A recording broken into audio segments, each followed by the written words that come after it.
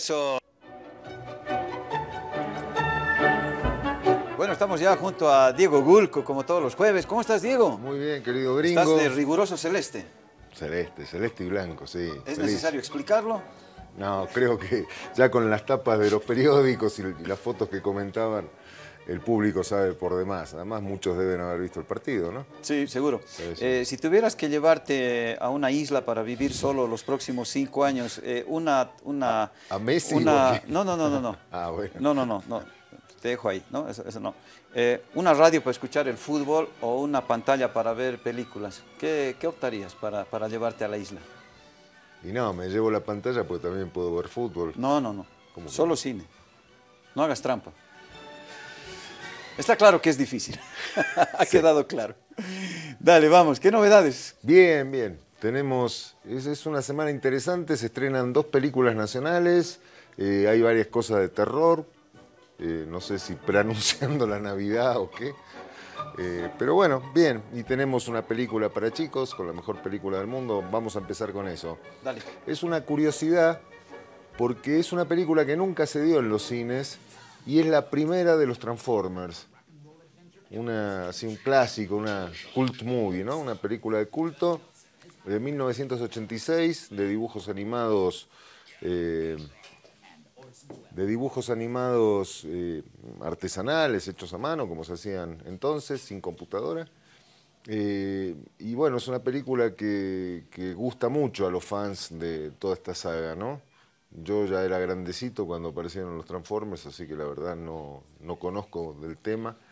Eh, pero antes de que fueran todas estas eh, calamidades corpóreas que vemos ahora, dirigidas por Michael Bay y otros que destruyen la Tierra y demás, eh, ya lo hacían con dibujos animados. Y otra cosa interesante de la versión en inglés, eh, nosotros la vamos a pasar en español para que los niños tengan más facilidad para entenderla, pero también se da en, en español. En inglés, el- el- las voces de los personajes las hacen grandes, grandes actores. Es una de las últimas películas de Orson Welles, imagínate. ¿Qué tal? Sí, también está Leonard Nimoy, Eric Idle, eh, varios otros actores muy destacados. Y en español está ta- también doblada por una serie de personajes que no los conocemos de nombre, pero por las voces sí.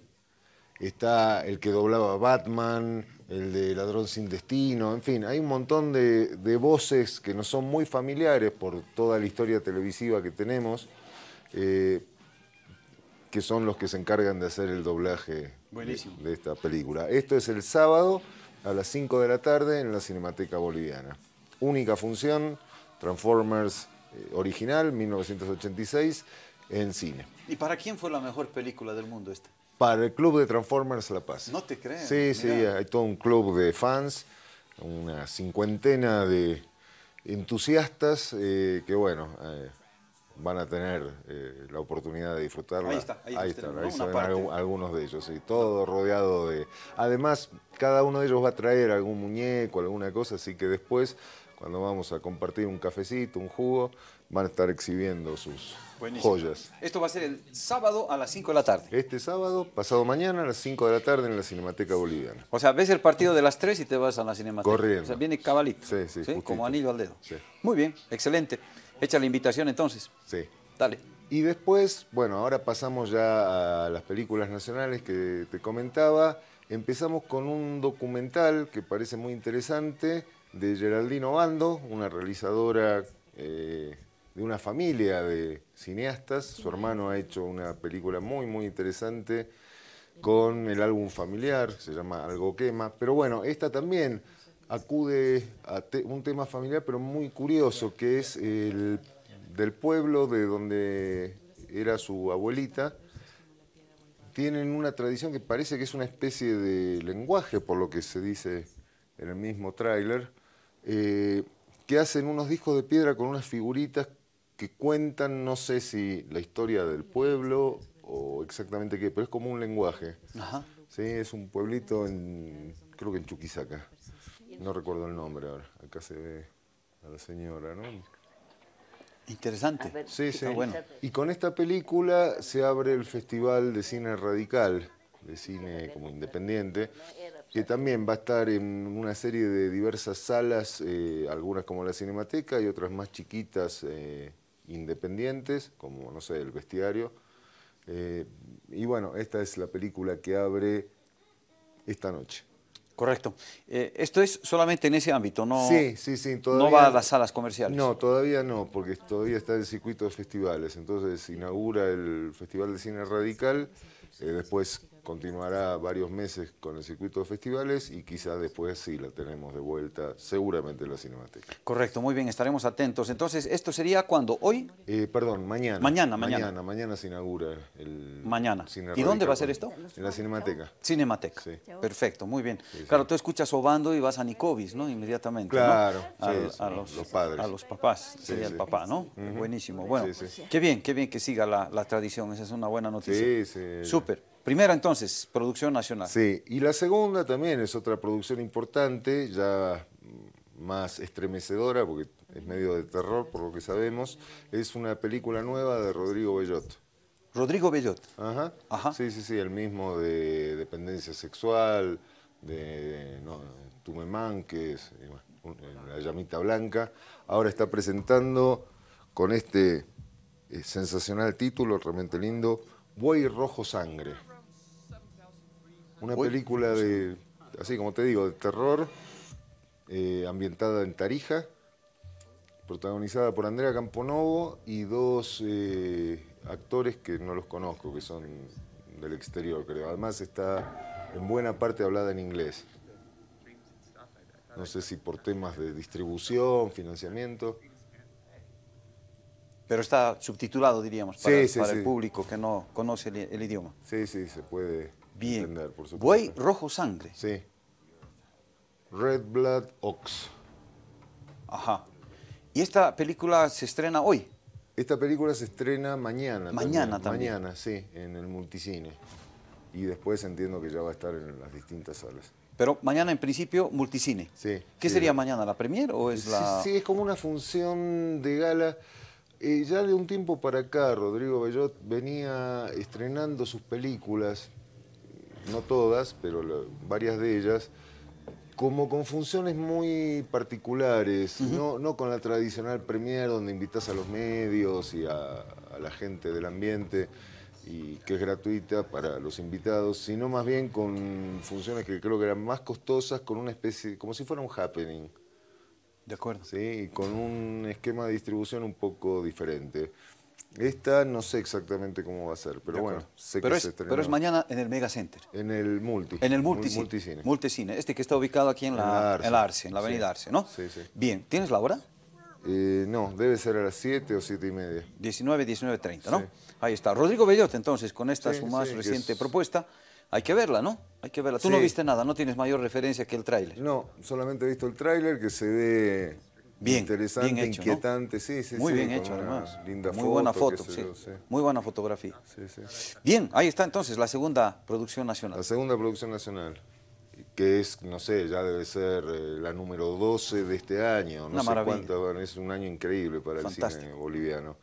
De paso, Utama sigue ganando premios. Bien. Ayer leía, ya no me acuerdo dónde, en Europa me parece, en otro festival. Qué bien. de- debe estar cerca de los 40 premios. ¿te Impresionante. Sí. Qué bueno. Y bueno, tenemos una última película también para tomar en cuenta, también de terror.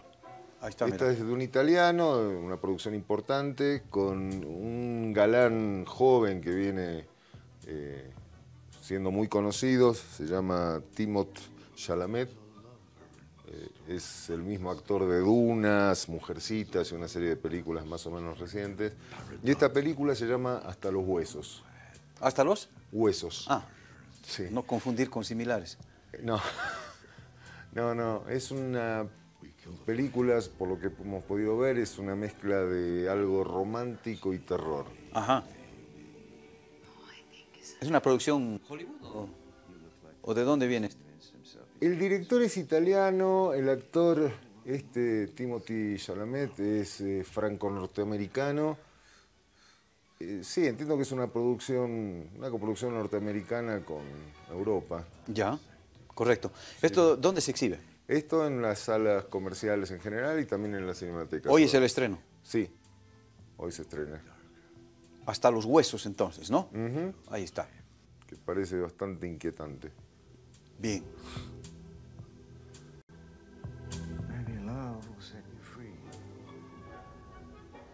Muy bien, hecha entonces la invitación. Hoy se estrena hasta los huesos. Así que bueno, estas cuatro son las novedades que tenemos para mencionar hoy. Y, bueno, ya estaremos viniendo, espero que con temas un poco más suaves y navideños próximamente. Aunque no sé, como ve en el mundo. No se sabe, nunca se sabrá. Diego, como siempre agradecerte, un placer tenerte acá con nosotros. Ah, un placer Eh, estamos haciendo fuerza para que Argentina siga adelante. Es un escollo supuestamente accesible, bastante más accesible que Francia, de eso no, No, quepa duda. no hay duda. Así que estaremos, entiendo, el domingo, ¿no? El domingo. se- No, el sábado, El sábado. sábado, el sábado es Sábado, Argentina, sí, sí, sí, el sábado frente es a Australia, ¿no? Sí. Pareciera una parada, Más reitero, o menos fácil. pero accesible. No hay, no hay nada previsible ni fácil. Si no, este preguntarle a. Arabia. ¿no? Si no, preguntarle a a los alemanes. Preguntarles a los alemanes con Japón, ¿no? Sí. Así que bueno, en fin. Y bueno, eh, lo que sí me ha dado mucha pena que México Sí, raspando no pasara. una pena, una pena. Le faltó un golcito, ¿no? Sí. Un golcito de Argentina o un Un golcito de ellos. propio, sí. En realidad fueron dos al final, porque Arabia les hizo uno, ¿no? Claro, Eso los terminó de liquidar, eso ¿no? sí, sí. Bueno, en fin, paciencia. Con Será este en- fútbol además tan... Con este tema del VAR creo que estamos todos Sí, hasta acá, ¿no? sí, un No, poco. No, no tiene sí, sentido. Sí, le quita un poco la- el picante al, al asunto. Pero fíjate que México ya está clasificado para el próximo mundial. Porque va a ser local, pues, ¿no?